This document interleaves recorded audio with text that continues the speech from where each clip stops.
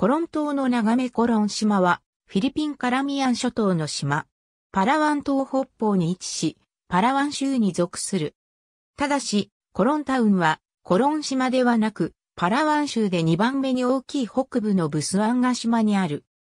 島の周辺は、太平洋戦争中に、旧日本海軍の艦船の停泊地として利用されていたが、大戦末期の米軍の攻撃によって沈んだ。旧日本海軍の艦船や輸送船が何隻もあり、また、北部ではジュゴンなども生息しており、貴重なダイビングスポットとなっている。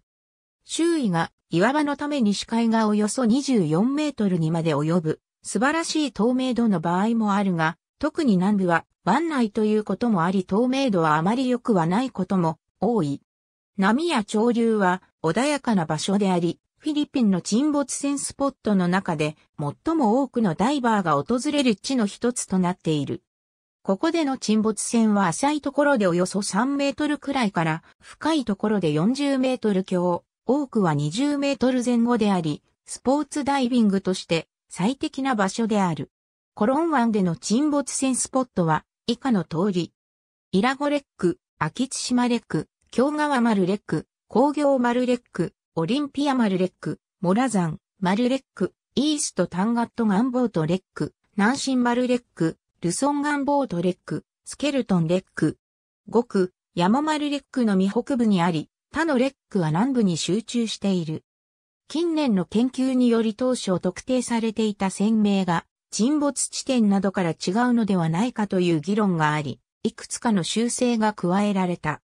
現在もその影響により現地のダイビングショップによっては、京川マルレックを太平マルレックと紹介していたり、オリンピアマルレックをモラザン、マルレックと紹介していたり異なる場合がある。これらは現在も議論が続けられている。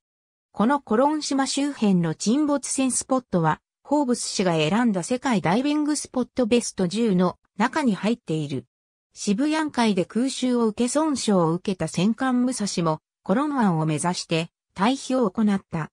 コロン湾で応急修理を受けて日本を目指す予定であったが、コロン湾にたどり着くことはできなかった。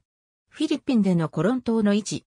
コロン島を含むカラーミアン諸島は赤色で示される濃い赤はブスアンガ島。1944年9月24日、太平洋戦争において、米機動部隊の艦載機がコロン湾に在泊する日本艦船を襲った。蒸気沈没船の他に苦戦艇第32号が沈没、水上規模艦死にが大破するなどした。薬中、原文では80フィート。薬中、ダイビングスポットの名称は、沈没船名から付けた名称や沈没船の場所から付けた名称などがある。沈没船の名前以外の場合には、原文での英語名と、その意味を括弧内に示した。ちなみに、レックはナンパ船や残骸の意味。